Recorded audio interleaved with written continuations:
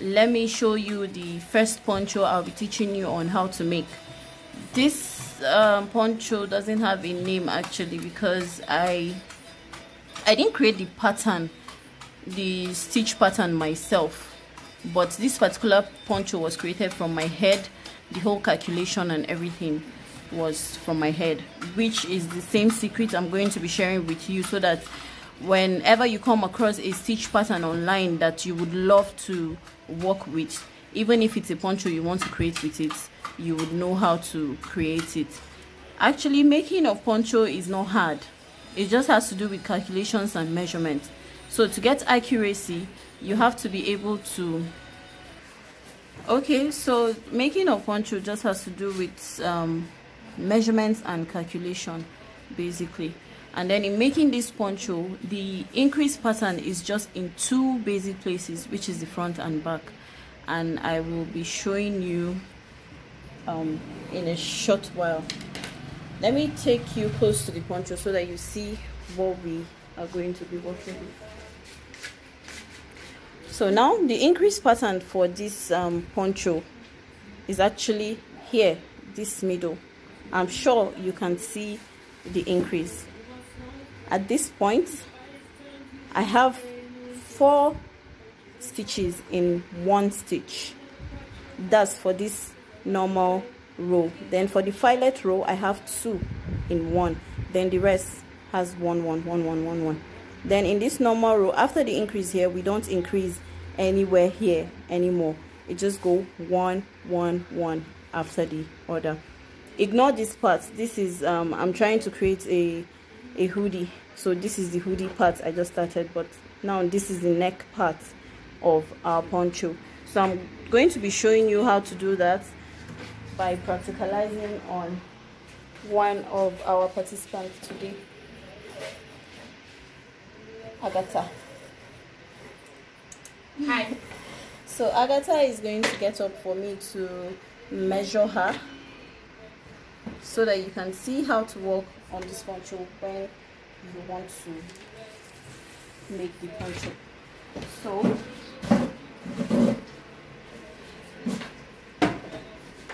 at this stand here and then turn your back. Now i'm using agatha because i'm the one measuring her. If you're to measure yourself you can either measure from the back like this like this or you can just measure from the front but then when it comes to the front you can't really get the accuracy because our back is you know bent in towards the front. So it's better for you to use the back measurement. So to measure agatha i have to measure from her shoulder to her other shoulder which is this way. Just the way you would want the poncho to lay on you properly. So measuring Agatha shoulder to shoulder is giving us 18 inches. It close, this is 18 inches. 18 inches. This is how it would fall on her if she were to make this poncho. But now we don't make poncho based on one side. So we have to times this 18 by 2. So when you times it by 2, you get the whole circumference from her shoulder here over to this other shoulder and over to the front and back to this shoulder so when we times um, 18 by 2 it will give us a measurement of 36 which is a whole shoulder to shoulder front and back measurement. this is how to get the exact measurement for you or any of your clients that you might be making a poncho for so just tell them, if you're not with them, tell them to measure from shoulder to shoulder and send you the measurement. Or if they are with you, you measure it just this way, shoulder to shoulder. You would have this video with you. Hopefully you don't delete it, so it will be a reference point to you anytime you get confused. So let's conclude. Thank you, Agatha. Now, to make a poncho, you need that if you be working with your own pattern. If you'll be making your own pattern these are the things you would need. I'll show you in a bit. You need of course yarn a pair of scissors a writing pad a calculator tape rule and your desired hook size for your project depending on the yarn size you would be using. Now i'm using a worsted weight yarn which is equal to the exact size for yeye extra. But if you want to use two strands of um, yeye regular it's still not a problem. All you need to do is chain up enough chain up enough to cover up for the measurements for the shoulder measurements that you took for your client. We had 18 and when we times it by 2 we had 36 so you just chain up enough to make up for 36 now let me show you how to measure up to 36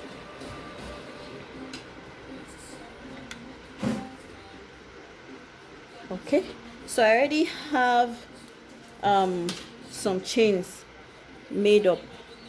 I already chained up some. Let's see how much I've chained up already so you place your chain on a flat surface like this without it um, tangling. And then you measure. You place your beginning of your taper on the tail just on the tail of your chain. And then you get the exact size of chain you've been able to work with. I've been able to chain up 33.5 already so I have about um, two more inches to go. Okay sorry guys we had to do a behind the scene calculation before we continue so that we don't lead you astray. Okay so i've been able to chain up 36 inches long worth of chain. So let's be sure let's confirm it together 36 inches long. Now we have um 155 chains equals to 36 inches using worsted weights and a 3.5 um, crochet hook. We're able to chain up 155 chains to sum up to this 36 inches now in making this um, poncho your chain has to be even number. It has to be a number that can be divided by two working with this type of poncho. It has to be divided by two. So in situations like this whereby 155 cannot be divided by two you you are now left to either reduce one or add one now in situations like this because it's yarn and then it tends to expand eventually we don't add. What we do now is reduce one chain and then you'll be left with 154 chains. Now 154 154 divided by 2 equal to 77 right?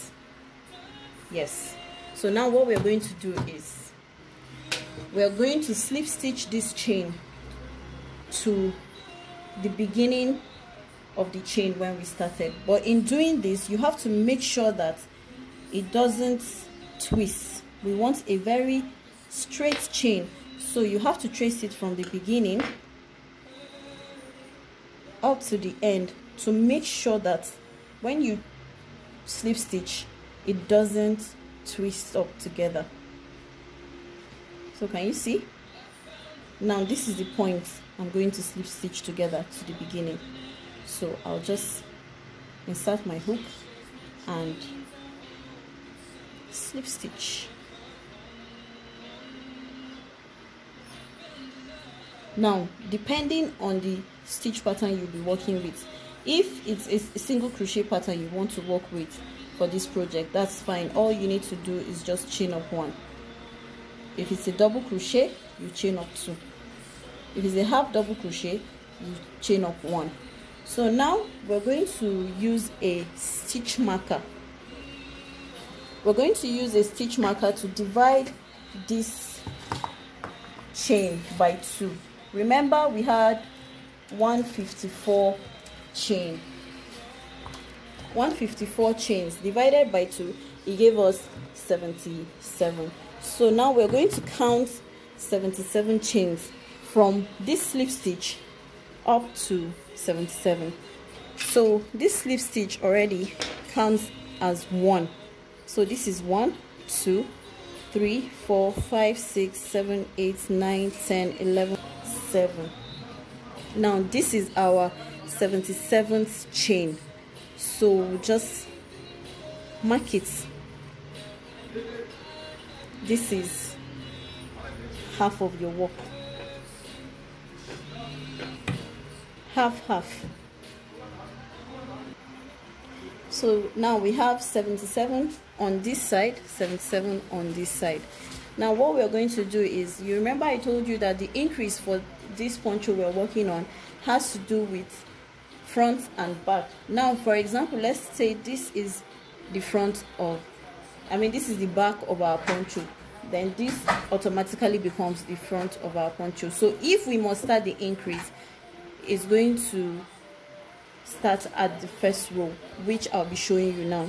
So what i usually do in starting my poncho is i work the first row with single crochet because it gives me a base for my work.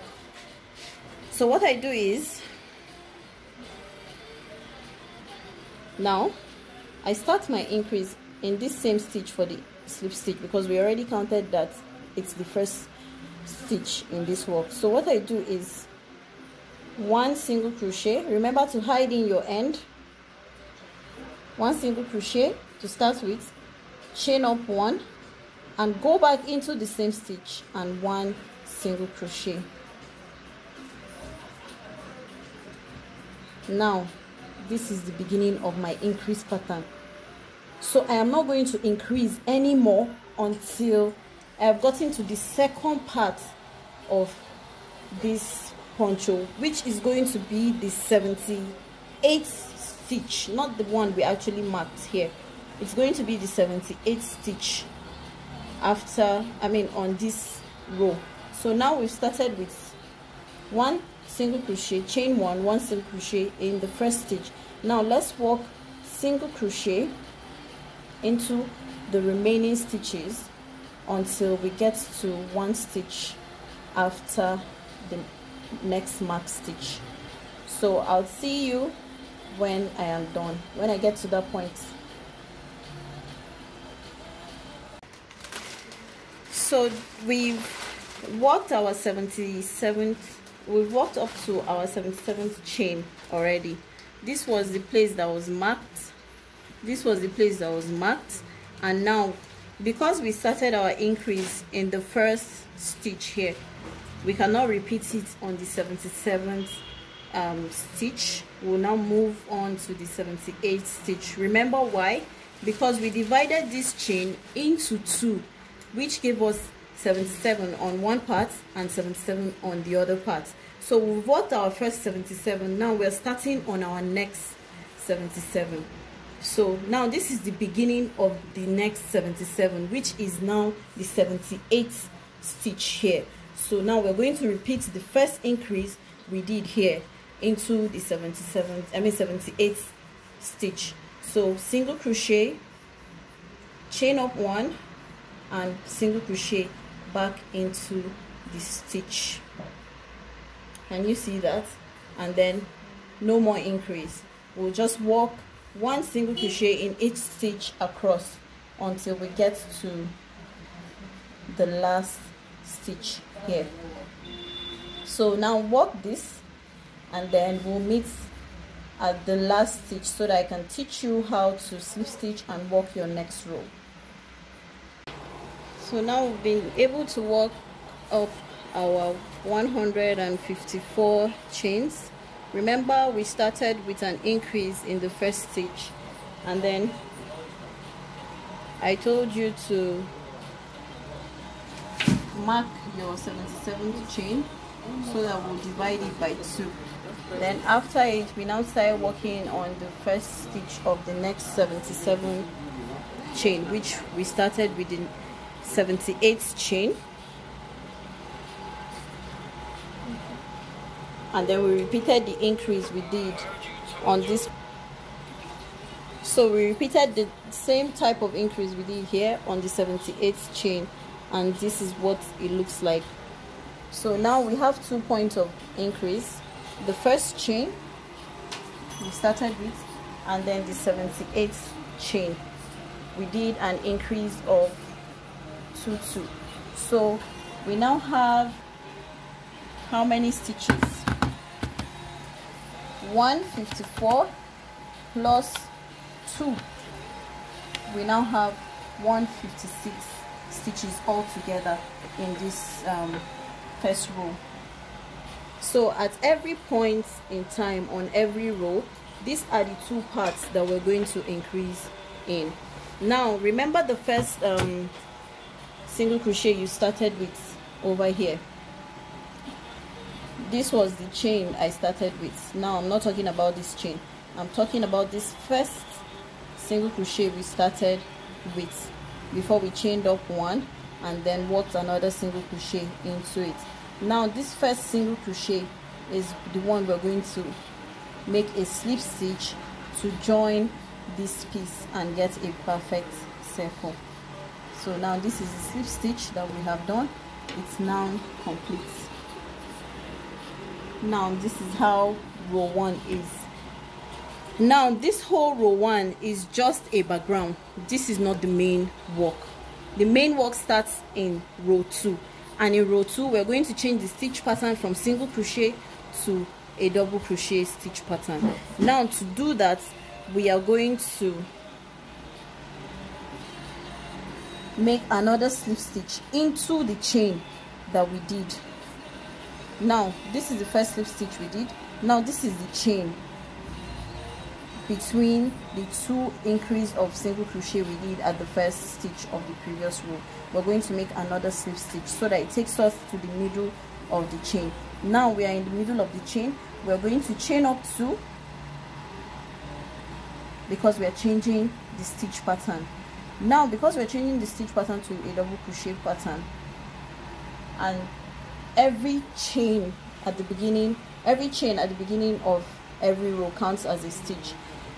So eventually we're going to be slip stitching into the chain stitch from the second row up to the last row now.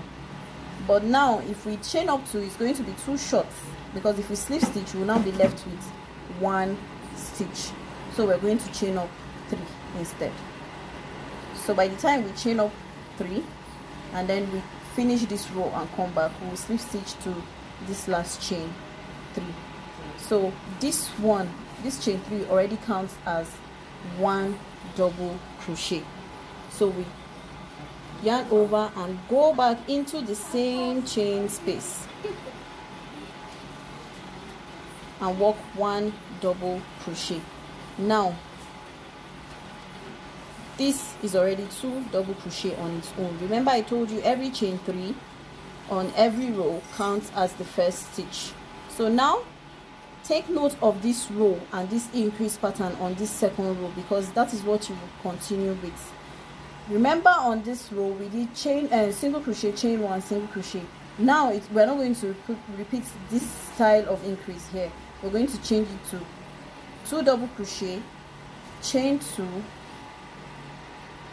and then two double crochet into the chain space.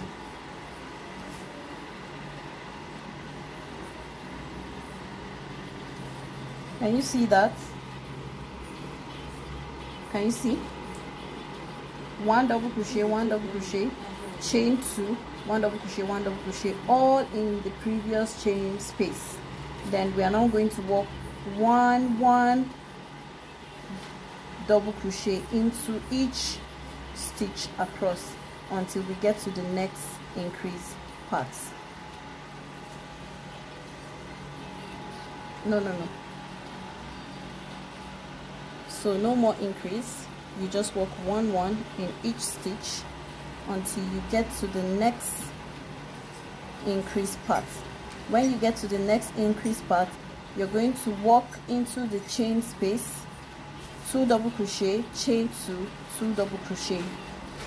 Now this is how you would continue until you get to the next chain space. So you're going to walk one one each in every stitch until you get to this increase part. This is the next increase part. So you're going to walk into this single crochet then when you come to the chain space you're going to work two double crochet into this chain space two chains and two double crochet into it which means at the end of the increase you'll have four double crochet in one stitch. So i'll meet you when we get back to this point. Whoa you got 100 and what? 63 using what size of crochet hook? I use 4 inch 4 mm sorry. 4 mm with what size of yarn? With uh, yes yeah extra yeah extra. And what's your shoulder to shoulder measurement? 36 36 and you got 160 3 163 have you been able to get your measurements now just count. Okay i'll come back to you. Sharon so you used um 3.0 mm hook right? With how many strands of yarn? Yeah, yeah extra or regular? Regular. regular so how many chains did you arrive at? 164. 164 using um okay for what shoulder to shoulder measurements? 16. 16 okay. 16 times 2 gives you what? That's 2. 32 precious what about you 32. 32 as well what hook size are you using 3.0 mm. and how many chains did you chain up to get your 32 long inches of your shoulder to shoulder length 150 all right so we've gotten to the the um, part of the chain so now this is our last um, single crochet before the chain. Now we're going to repeat the increase we did on this side into this chain as well. So yarn over go through the chain.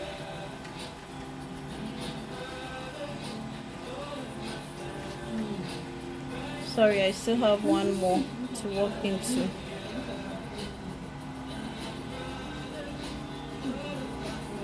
Okay then the chain yarn over go through chain one double crochet.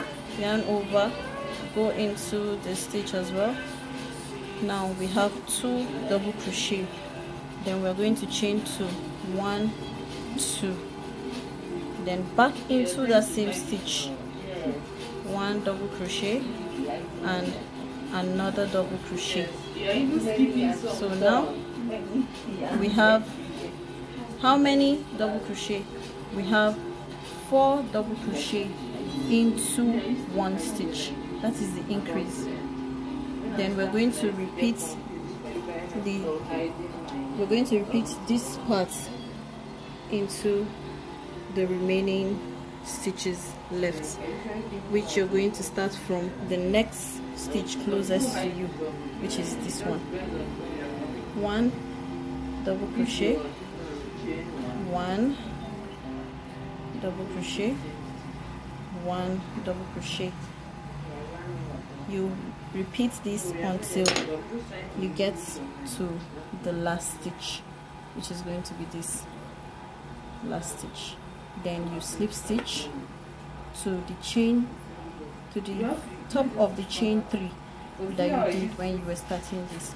So i'll meet you back at this point so that i'll tell you how to do the last um, the, the third row which is going to be a filet um, row. So I'll, you you have to take note of how to make this because the next row is going to be different from this. And this whole project is going to be a repetition of this row and the next row on every row. So you're going to do a repetition of this and the next row when we get there so i'm sure most of you must have gotten to this part by now. We're done. We've worked our last um, single crochet into the last stitch which is here. So now we're going to slip stitch to the first stitch of the chain three that we did at the beginning. This is one two then this is the third. So we're going to make a slip stitch into this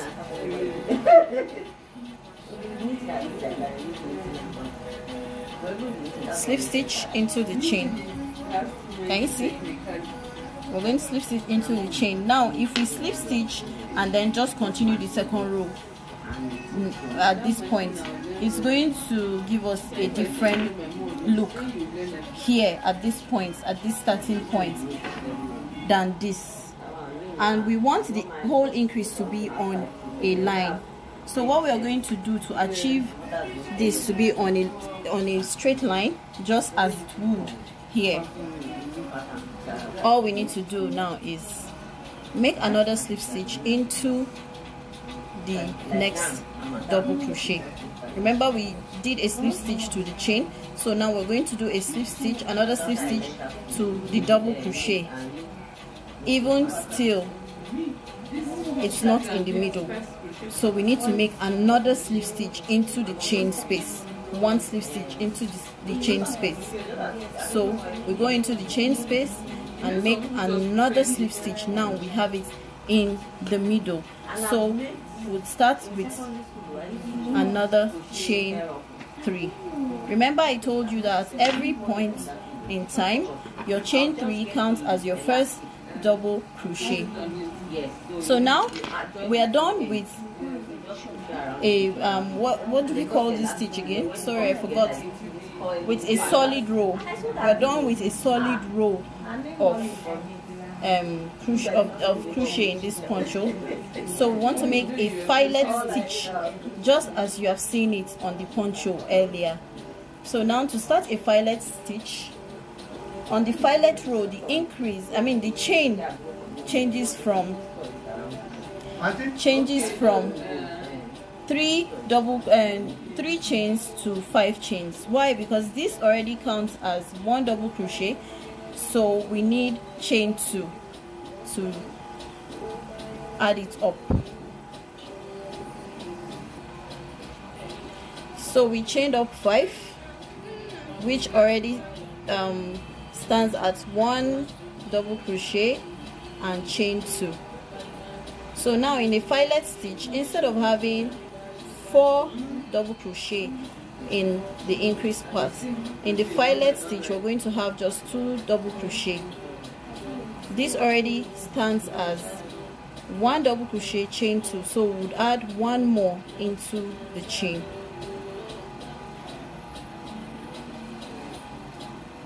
Can you see? One double crochet chain two one double crochet then chain one. Then work one double crochet into this first stitch. Then chain one. Then now we're going to skip one. Skip this skip this and walk into this.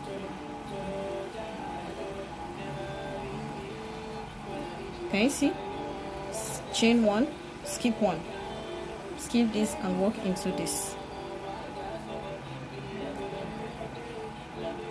Can you see that? So you continue. Chain up one skip one. You continue with this filet row until you get to the next increase which is going to be this.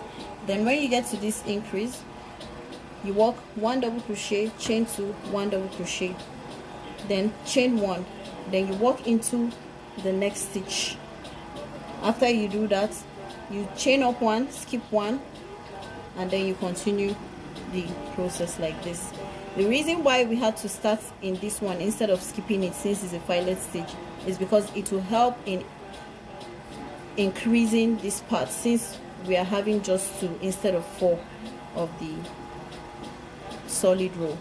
So please i'll meet you up when you get to this point